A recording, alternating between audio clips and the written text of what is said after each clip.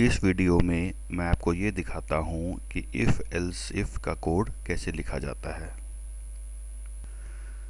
अब यहाँ पर आप पहले एक वेरिएबल डिक्लेयर कर दीजिए वेर ए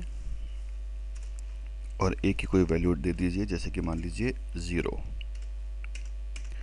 अब इफ़ लिखने के लिए if bracket open close A double equal to zero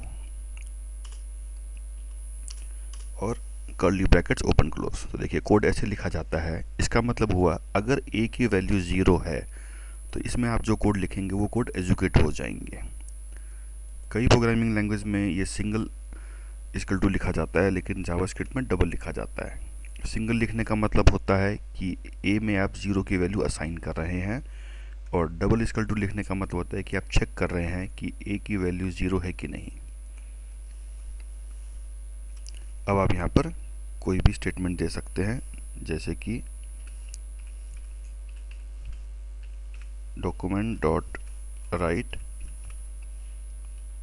यहाँ पर आप दे, ऐसे लिख दीजिए कि एक सेंटेंस डिस्प्ले हो जाए ए इज़ ज़ीरो अब इसको सेव करके इसको हम रन करके देखते हैं। तो देखिए ए इज़ ज़ीरो अब हम एक से ज़्यादा इफ़ देना हो तो कैसे दिया जाता है, इसको आप पूरा कॉपी कर लीजिए। कॉपी करके यहाँ पर पेस्ट कर दीजिए।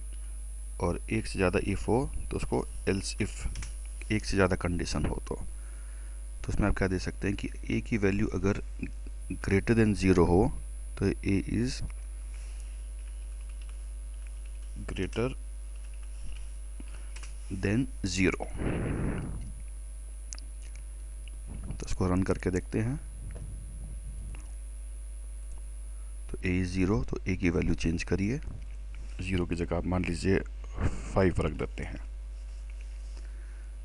सेव और इसको रन करिए। तो देखिए A is greater than zero तो ये चेकिंग कराने के लिए होता है इफ़ कि जो कंडीशन मैच करेगी, वो रन हो जाएगा। अगर ए ज़ीरो है तो पहला ये रन करेगा। ए की वैल्यू ज़ीरो से ज़्यादा है तो ये रन करेगा। पहले ये ये चेकिंग करता है। अगर ये सही हो गया तो फिर ये सारे एलसीफ को इग्नोर करके सबसे एंड में आ जाता है। और एक और होता है एल्स एल्स में क्या होता है कि अगर कोई भी कंडीशन मैच ना करे ऊपर की तो फिर वो एल्स कंडीशन मानी जाती है। तो आप क्या करिए, इसको कॉपी कर लीजिए।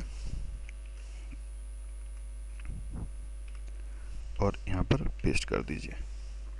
तो देखिए कंडीशन क्या हो सकती है? ए की वैल्यू या तो ज़ीरो हो सकती है, या ज़ीरो से ऊपर हो सकती है ज़ीरो से नीचे तो अगर ज़ीरो है तो ये स्टेटमेंट रन करेगा। ए की वैल्यू ज़ीरो से ज़्यादा है तो ये करेगा। और एल्स यानी कि इन दोनों के अलावा लेस तो यहाँ पर हम लिखेंगे A is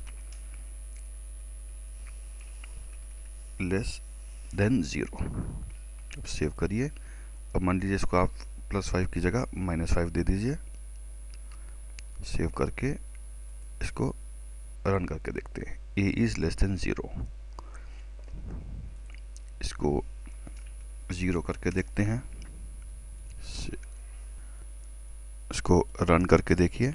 तो ए इज़ ज़ीरो तो अब क्या है कि हमें बार बार यहाँ पर चेंज करना पड़ रहा है। क्यों ना हम काम करें? यहाँ पर यूज़र को ही अलाउ कर दें कि यूज़र खुद टाइप करके चेक करें। तो उसके लिए करिए प्रॉम्प्ट प्रॉम्प्ट और एक मैसेज दीजिए एंटर अ नंबर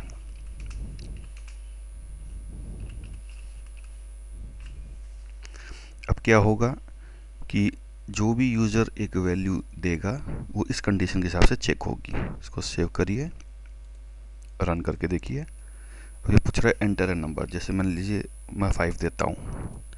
तो A is greater than zero फिर से रिफ्रेश करिए। मान लीजिए मैं ज़ीरो देता हूँ।